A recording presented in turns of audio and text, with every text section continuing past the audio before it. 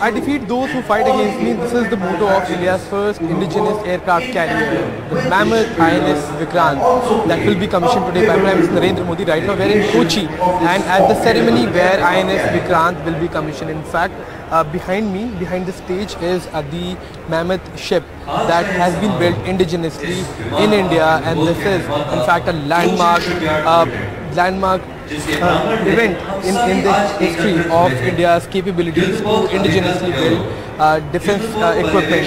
Uh, this this ship is a massive ship. It can uh, there, there can be uh, 30 aircrafts that can be placed on uh, the, this aircraft carrier, uh, including 26 fighter jets and 4 helicopters.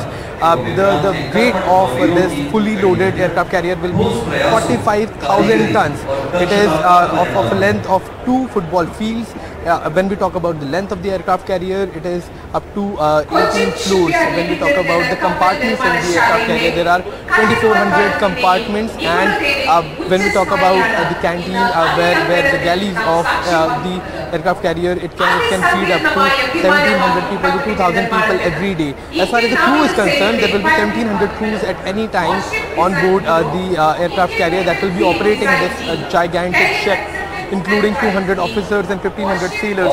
So right now uh, behind uh, this stage you can see some some glimpse of the INS Vikrant that in fact will be joining INS Vikramaditya and now India will have two operational aircraft carriers that will in fact be significantly boosting the strength of the Indian Navy in the Indian Ocean region. Now, when we talk about threats coming in from China, which also has two aircraft carriers, and uh, they are also building a third one, or the threats uh, coming in from Pakistan in the Indian Ocean region, in the Indo-Pacific region, uh, this uh, this uh, move, this movement is, is going to be historic because with two aircraft carriers, our strength is going to be multiplied. In fact, this is the force multiplier, and along with the INS Vikrant, there will be frigates, there will be destroyers, there will be submarines, so it will be an entire city on the moon. It, it, it has hospitals as well. So certainly, it's a big boost for uh, the, the entire uh, country.